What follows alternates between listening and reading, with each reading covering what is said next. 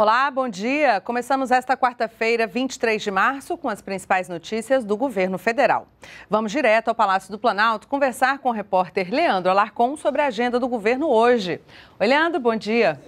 Oi, Daniele, bom dia. Olha, a presidenta Dilma Rousseff visita agora pela manhã a, as obras de infraestrutura de solo para operação de satélite de defesa e comunicações estratégicas do Centro de Operações Espaciais aqui mesmo em Brasília. Depois, a presidenta Dilma Rousseff vem aqui para o Palácio do Planalto, onde às 11 horas da manhã ela vai participar da cerimônia de lançamento do eixo de desenvolvimento tecnológico, educação e pesquisa do Plano Nacional de Enfrentamento ao Aedes e também à microcefalia. O evento vai acontecer aqui no segundo andar do Palácio do Planalto, dá inclusive para ver aqui atrás, onde o evento vai acontecer, os preparativos finais para essa cerimônia. Depois, no período da tarde, a presidenta Dilma Rousseff vai se reunir às três horas da tarde, aqui também no Palácio Planalto, com o ministro das Comunicações, André Figueiredo. E depois, às 5 horas da tarde, a presidenta Dilma Rousseff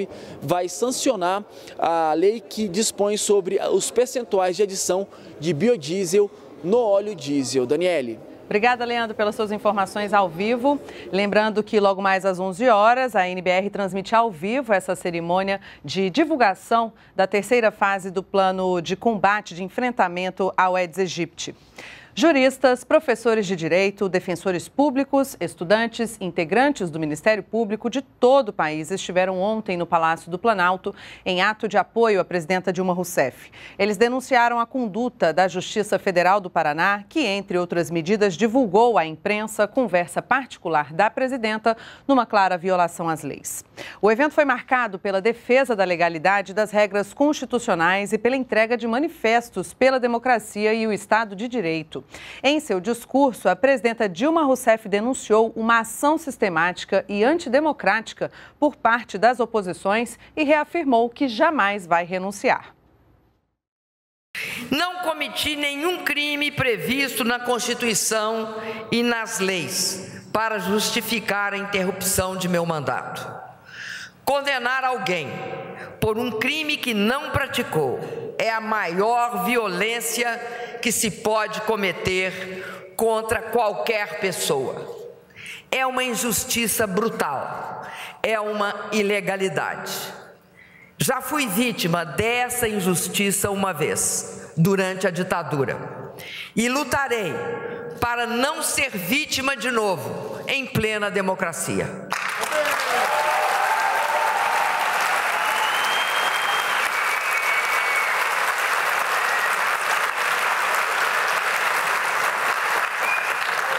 Nesse caso, não cabem meias palavras. O que está em curso é um golpe contra a democracia. Eu jamais renunciarei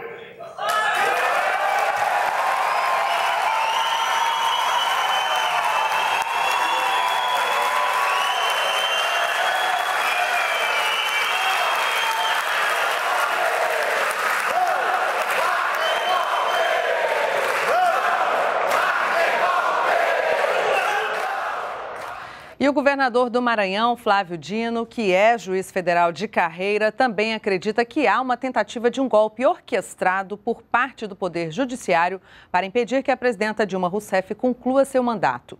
Ex-presidente da Associação dos Juízes Federais do Brasil, o maranhense afirmou ser preciso conter os abusos judiciais.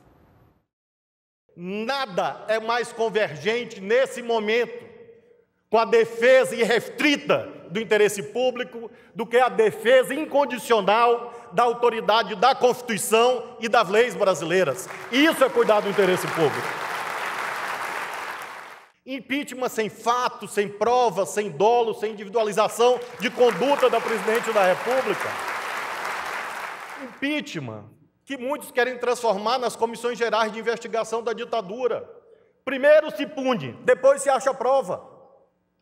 Qual é o fato que está hoje em debate no parlamento? Apenas um: as supostas pedaladas fiscais, que foram chanceladas pelo Congresso Nacional ao votar o PLN 5. E atitudes, portanto, que estão muito longe de caracterizar crime de responsabilidade. Ainda durante o evento, o advogado-geral da União, José Eduardo Cardoso, fez um balanço das ações da AGU contra as ilegalidades cometidas contra a presidenta Dilma Rousseff. A Advocacia Geral da União entrou e entrará com algumas, exceções, algumas ações.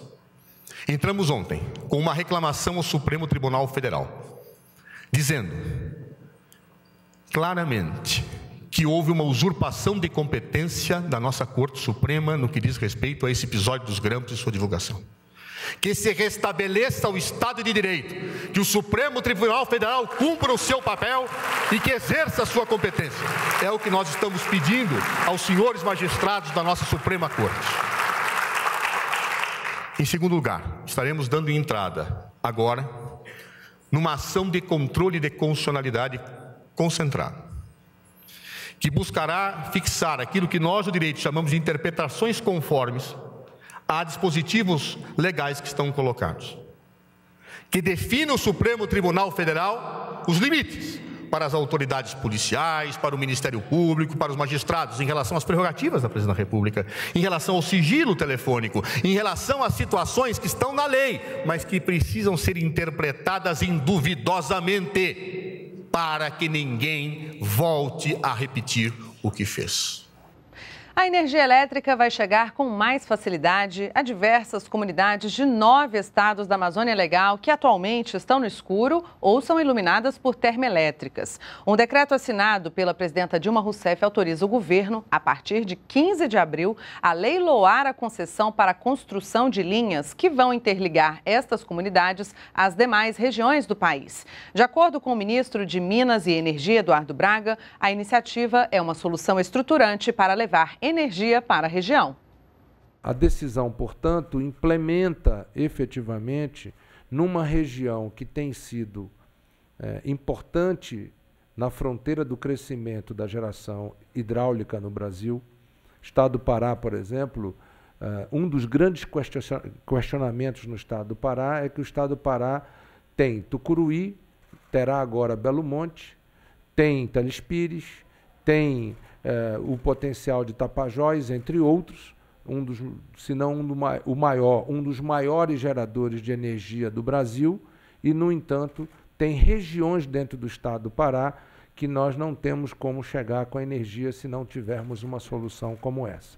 Essa é uma solução, portanto, estruturante para a região amazônica. E nós voltamos às 11 horas com outras informações. Acompanhe as novidades do Executivo Federal também nas nossas redes sociais, twitter.com/tvnbr, facebook.com/tvnbr. Continue com a gente, NBR, a TV do Governo Federal.